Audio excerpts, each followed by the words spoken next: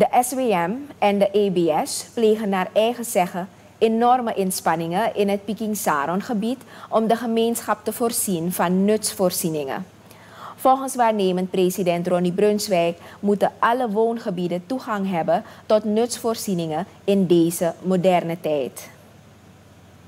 EBS-directeur Leo Brunswijk zegt dat er een elektriciteitsnet voor Pikinsaron en omliggende dorpen wordt aangelegd naast de voorziening van eenmaal 24 uur drinkwater, die de SWM-directeur heeft beloofd.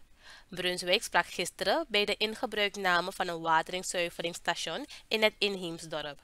Er zijn studies gedaan en er zal een transmissielijn worden aangelegd die alle huishoudens zal kunnen voorzien van eenmaal 24 uur stroom. Tap opleiding van EBS Abi, if me mak verklap opleiding die unu, nadat de bezig naar een studie a klarikba, pupot a stroom vanuit uh, Sanderij naar Peking Saron, en dat nou een 33 kV alleen zou, zou op, uh, opbouwen. En dat de opbouw dat die, we bouwen onder station Jaso naar Peking Saron, en van daaruit a stroom op Prati, go naar Kwakugrong, Digi Poika, nanga Peking Saron in Seja zo ook toe dat alles maar kan kiezen a eenmaal 24 uur stroom.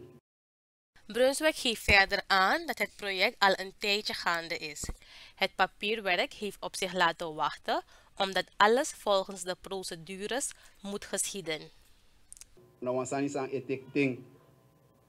Ik kan oppo dat je loon kon doen, maar dat if je maakt fout, dat kan kosten dat je belandt in Santa Boma. Dus a app kies ten van nodig hoe kan regel de papieren zo dusdanig dat Auroko no een probleem te utakwe do Auroko, dan feilloos allemaal kan de gerustak Auroko odu.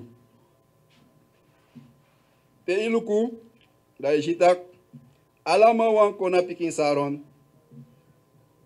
25 mei. Allemaal wan kona pikin saron de wan meki stem giden, maar enig sa sam kategi.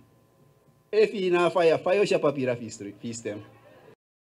De EBS-directeur verzekerde de gemeenschap dat er een 25 kilometer lijn naar het dorp Kwakugrong in Para zal worden aangelegd voor stroomvoorziening.